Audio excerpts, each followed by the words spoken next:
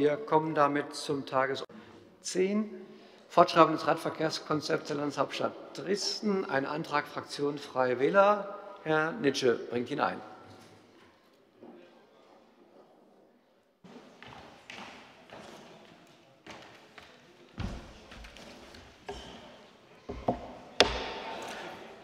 Sehr geehrter Herr Erster Bürgermeister, Herr Oberbürgermeister, meine Damen und Herren, wenn ich jetzt den Antrag einbringe, beziehe ich mich auf den Beschluss und die Beschlussempfehlung, also den Abschluss, äh, Ausschussbericht des Ausschusses für Stadtentwicklung, Bau, Verkehr und Liegenschaften. Ich möchte mit einem Zitat oder mit zwei Zitaten beginnen. Das erste ist, wir haben heute unheimlich viel von Vertrauen in die Verwaltung gehört, von vielen Seiten. Dann ein Zitat. Der Elbradweg ist ein Paradebeispiel. Am kleinen Schachwitzer Ufer ist er sehr breit, ein Miteinander von Fuß- und Radverkehr eigentlich also kein Problem. Meine Damen und Herren, das stimmt, das ist kein Problem, eigentlich, wenn man vorher ordentlich informiert und wenn man sich mit allen Beteiligten zusammensetzt, mit allen Beteiligten, die sich ganz individuell fortbewegen. Wir Freien Wähler, wir sind für Individualität im Verkehr. Wir sind dafür, dass jeder Verkehrsteilnehmer sich frei bewegen kann, egal mit welchem Verkehrsmittel. Wir sind auch gegen Spalterei. Uns ist es wichtig, dass Verkehrskonzepte existieren und dass sie umgesetzt werden. Das gilt auch für das Radverkehrskonzept. Und wir wollen, dass Maßnahmen klug und durchdacht umgesetzt werden und dass über sie informiert wird, rechtzeitig, bevor sie stattfinden. Und wir wollen erreichen, dass jährlich Informationen an die Ortschaftsräte, an die Stadtbezirksbeiräte und natürlich auch an den Stadtrat gehen, um vorher zu wissen, welche Maßnahmen durchgeführt werden, um dem Informationsbedürfnis der Dresdner nachzukommen. Das ist uns wichtig, das ist Bestandteil dieser Vorlage. Ich möchte noch ein Zitat anfügen, danach werde ich dann auch sagen, wen ich hier zitiert habe. Insgesamt brauchen wir mehr Sachlichkeit beim Thema Radverkehr. Elbradweg und Fahrradstraßen. Gerade der Elbradweg, den jeder kennt und auf dem jeder öfters unterwegs ist, benötigt kluge, durchdachte Lösungen für den wachsenden Radverkehr, die auf jedem Abschnitt auch anders aussehen können. Anfeindungen oder gegenseitige Beschimpfungen helfen da nicht weiter. Betont Gesa Dickert vom ADFC Dresden. Wir wollen nicht, dass man sich gegenseitig anschimpft, die bösen Autofahrer, die bösen Fahrradfahrer, die Kampfradler, die Stinker in ihren riesen Karren.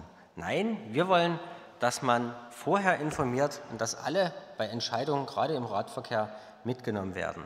Deswegen bitten wir um Zustimmung zu unserem Antrag.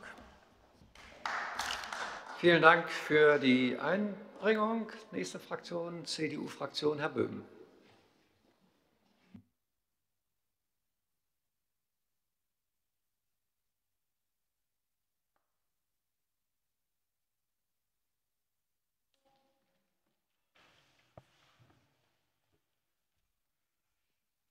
Sehr geehrter äh, erster Bürgermeister und äh, liebe Kolleginnen und Kollegen, eigentlich hätte ich ja hier gleich vorn bleiben können, so oft wie ich ja heute schon vorstand.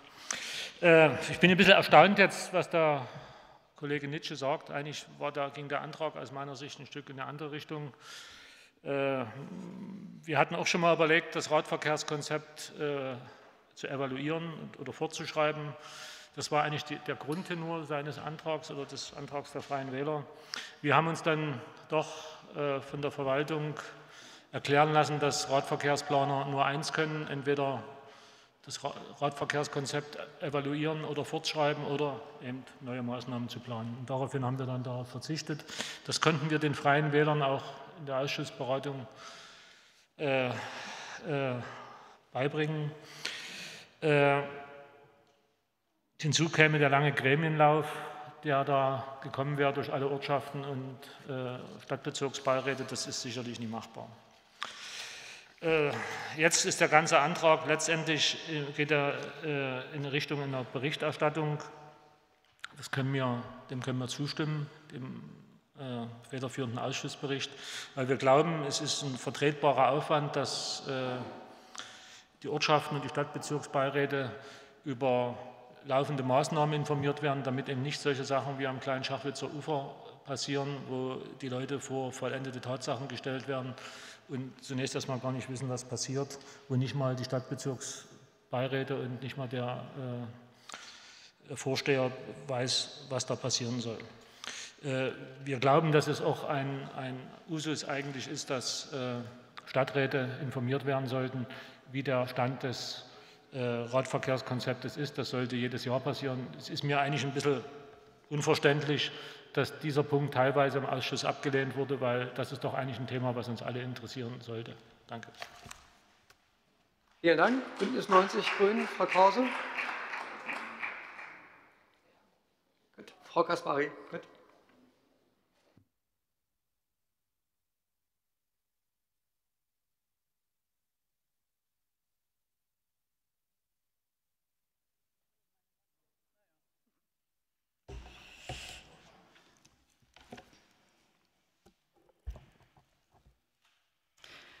Sehr geehrter Herr Erster Bürgermeister, liebe Kolleginnen und Kollegen! In diesem Antrag geht es darum, dass über den Umsetzungsstand des Radverkehrskonzeptes berichtet werden soll.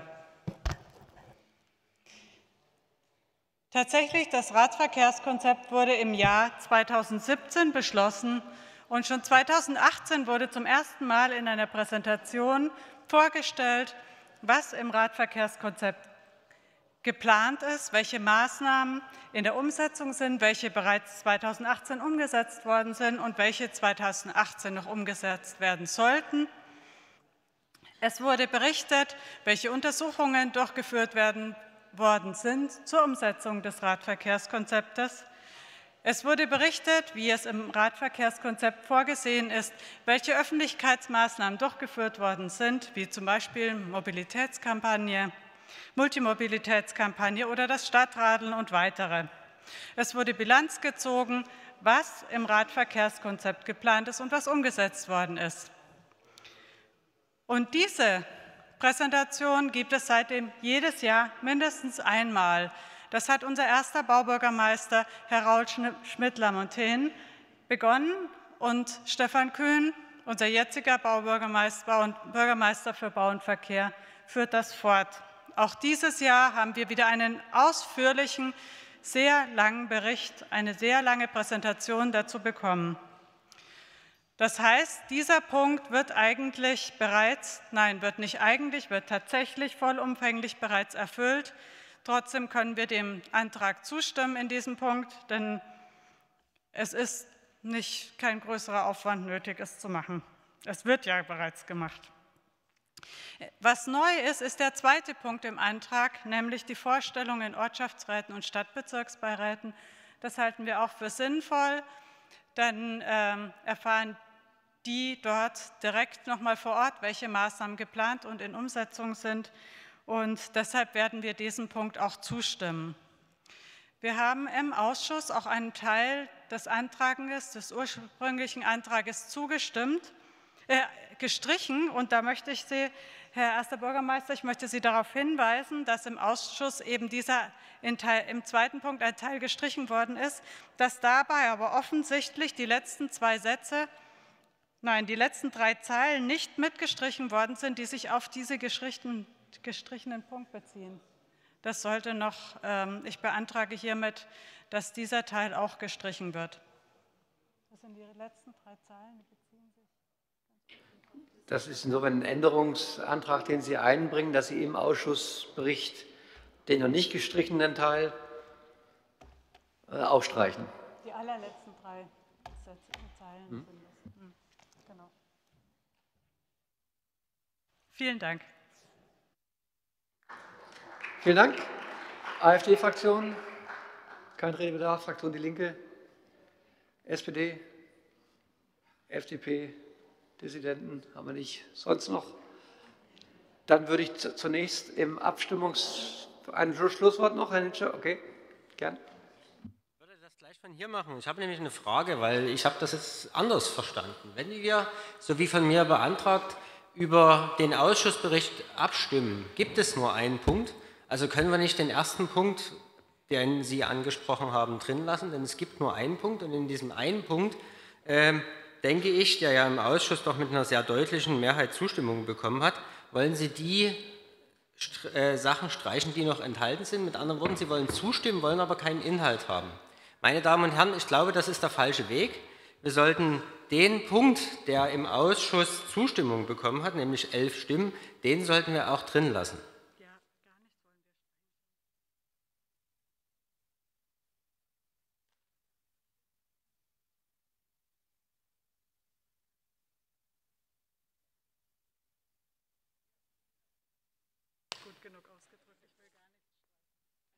Vielleicht bevor wir jetzt in die Abstimmung äh, treten, wenn Frau Kaspari noch mal genau vorträgt, was geändert werden soll, Herr Engel kann das auch, okay? Also es ist so, wir haben ja zwei, der Antrag hatte ursprünglich zwei Punkte, davon ist im Kern der zweite verblieben in reduzierter Form und dann gab es aber noch einen Nachtext, der lautete, die Überarbeitung und Anpassung soll zügig und mit dem Ziel einer beschleunigten Umsetzung von Maßnahmen erfolgen, die möglichst vielen Nutzern im Alltag das Radfahren in Dresden erleichtern.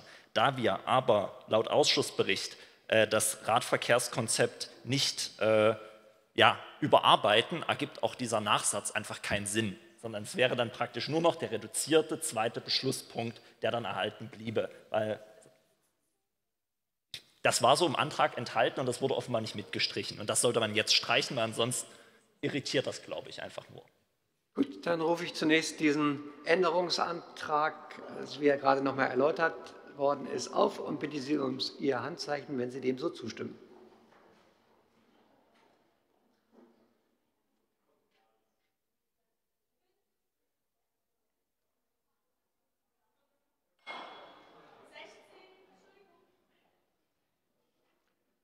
Gegenstimmen?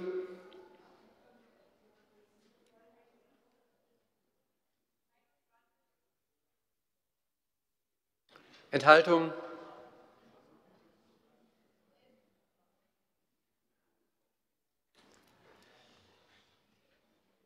Das ist bei 30 Ja-Stimmen, 21 Nein-Stimmen, 11 Enthaltungen so bestätigt. Und ich rufe den so geänderten federführenden Ausschussbericht zur Abstimmung.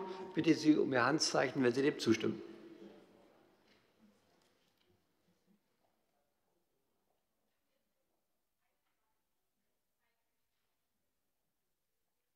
Gegenstimmen? Enthaltung?